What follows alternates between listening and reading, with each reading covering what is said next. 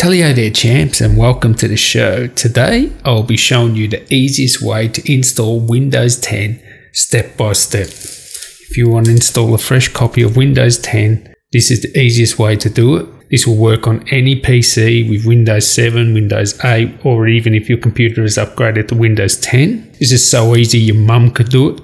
All you need is an 8GB USB stick and just follow these steps. And for me, when I done it on my Dell XPS 15 the first time, it actually kept my Dell partitions as well. I will be doing a more advanced way to install Windows 10 video soon, and that's for if you've replaced your hard drive or SSD, you want to be able to boot into that USB instead of just running it from your computer, which obviously you can't do if you change the hard drive. I'll be doing a video on that, so subscribe if you want to see that and just follow these steps. They're so easy. Let's crack on and get into it.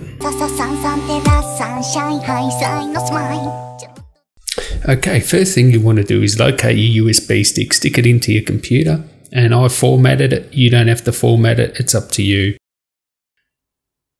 I formatted it FAT32 if you're interested in that, but you don't have to do it, it's going to wipe over that USB stick anyway.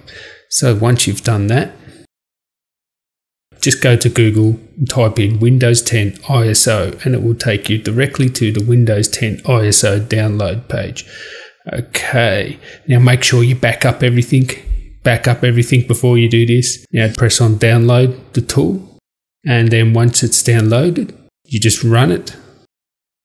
This is all time lapse, so it's going to take a lot longer than it actually shows on the screen here. So what you want to do now is just accept the terms.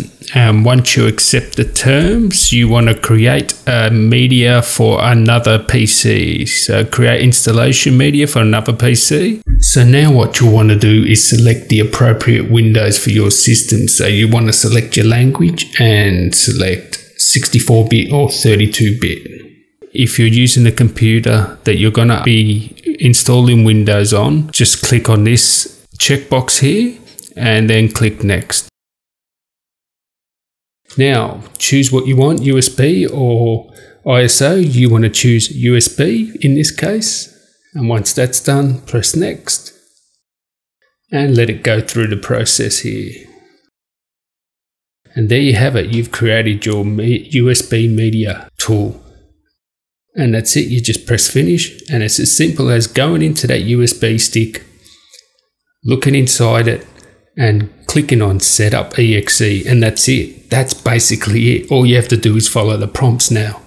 And I will show you all the prompts you're going to get now. It's going to say do you want to download important updates? I recommend doing this but for the purpose of this video I'm not going to do that.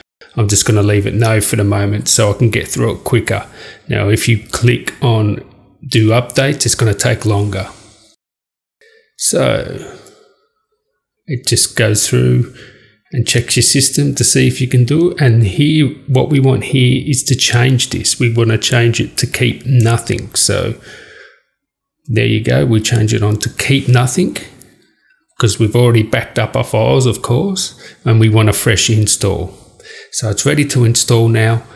And all you do is click on install, bang. And once you click on install, you should see this screen and it's going to go through the steps of installing it and it's going to restart your PC and start installing it. Now, this is the next page you'll get. Set up this according to your region here. I'm going to set it on Australia and with the US keyboard. And this bit here, you can enter your Wi Fi password if you want. And also, if you want to go into the settings and change them, change them by all means. For this video, I'm just pressing on Express. Now, you create your name for your computer course, you should do a password. Then you'll be greeted by this screen. And then after that, boom, that's it. You've just fresh installed Windows 10 on your computer and it was that easy and it's that simple. And you'll actually notice that you've got your Wi-Fi driver here and all you do from here on now is just do your Windows update and you've got a fresh, clean copy of Windows 10 on the computer. So I'd like to thank you guys very much for watching. Give me a thumbs up if you liked the video. And until next time, guys, Tally ho.